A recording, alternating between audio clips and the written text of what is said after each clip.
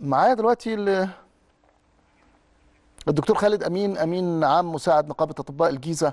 آه، دكتور خالد مساء الخير. مساء الخير مساء الخير آه، أهلا بحضرتك. دكتور خالد لو لو اتكلمنا آم، عن الجانب المهني في في آه، حياة الدكتورة الراحلة آه، هبة خفاجي.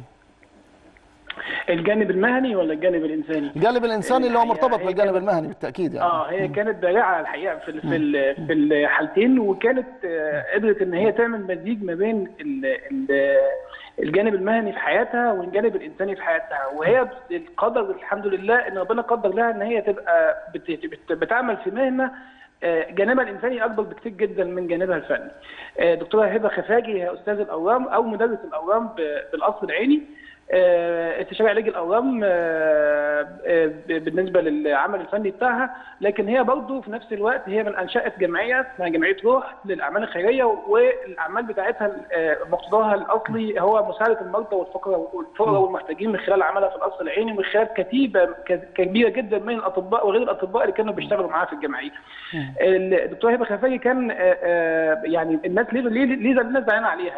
آه، كانت بتسعى بكل آه، قوة في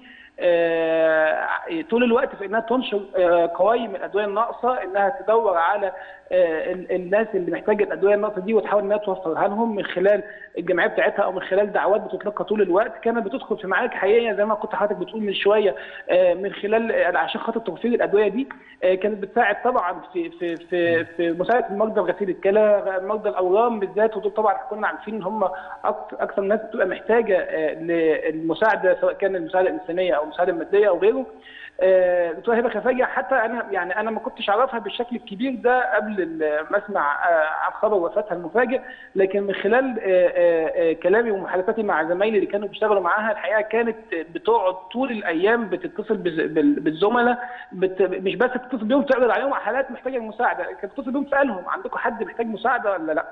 آه، آه، عندكم حد ممكن إن إحنا نقدر نساعده ولا لأ؟ مش بس إن هي بتعرض عليها فهي بتستجيب لا هي كمان بتدور على إن تعمل حاجة كده. آه، آه، من حزن الناس عليها طبعا بعد كده الناس بدأوا إن هم يفكروا إن هم يكملوا السكة بتاعتها من خلال العمل.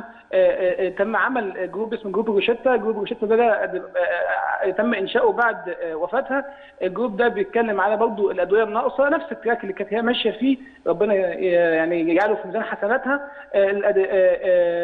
صدقه جاريه على الراحه وبرضه مستشفى 25 يناير آه، آه، أطلقت آه، اسم الفقيده أو اسم المرحومه الدكتورة هبة خفاجي على قسم العيادات الخارجية بيها. نعم. وإحنا كنقابة أطباء الجيزة حاولنا إن إحنا نعمل حاجة بسيطة جدا تكريما لاسم الراحله تكريما لاسم الدكتورة هبة خفاجي واعترافا بإن هي ده النموذج الحقيقي للطبيب المصري اللي, اللي إحنا عايزين الناس تفهمه والناس تعرف إن الطبيب المصري هو ده معدنه الأصلي.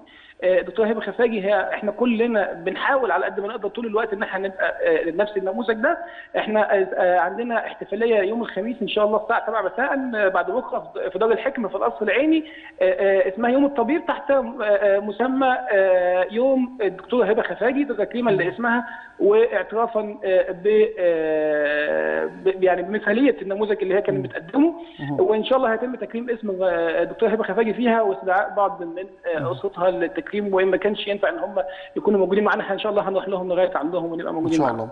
أنا أنا بشكرك. شكرا جزيلا دكتور خالد أمين. أمين عام مساعد نقابة أطباء الجيزة. وزي ما قال لنا الدكتور خالد أمين مستشفى آه، 25 يناير بالشرقية. آه، أعلن إطلاق آه، اسم الدكتورة هبة خفاجي على آه، العيادات أو على قسم العيادات الخارجية في هذا المستشفى.